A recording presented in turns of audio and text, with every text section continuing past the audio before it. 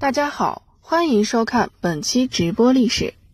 岳飞，大家都知道，这位南宋时期的抗金将领，曾率领威名远扬的岳家军叱咤战场，立下赫赫战功。后来，据历史资料，汉奸秦桧被金人所收买，让宋高宗从战场上让其召回，并打入牢中。而在岳飞死后，就有五个同人长跪在岳飞墓前。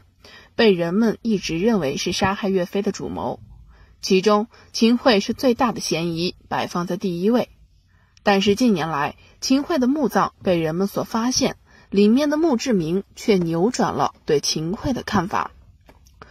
秦桧在历史上是有名的奸臣之一，任职期间极力贬斥抗金将士，正是因为他做的都是些卖国求荣的事情，受到了后人的唾骂。虽其在铁栅栏内反剪双手，但是仍然不解人们的心头愤怒。八百多年的时间里，他的跪像就被重新铸造了十二次以上。但是近年的一次南京考古挖掘工作却打破了之前的观点。墓穴早已被盗墓贼所破坏，里面的金银已经被洗劫一空，只留下印章和石碑。其中一个近似墓志铭的石碑，引起了专家的注意。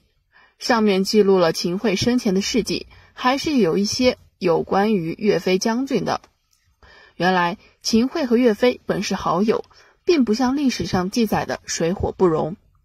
虽然奇文没有提到他就是凶手，但从文中知道他确实参与了陷害岳飞的计划中。既然墓志铭中能称他与岳飞是好友，那就说明不是他所杀，那会又有谁呢？考古专家分析，在南宋时期，秦桧虽然受到了宋高宗的爱戴，但其根本没有控制权力的能力。即使记恨岳飞，也不能随意宰杀。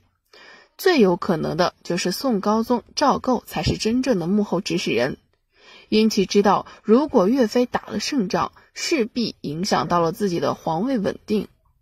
岳飞长期以前手握兵权，也在一定程度上影响到了自己的统治。宋高宗当时就是个猜疑的人，对手下的战将最不放心。岳飞一案正是借用了秦桧之手，杀死了岳飞。好了，本期视频就到这儿了，感谢收看。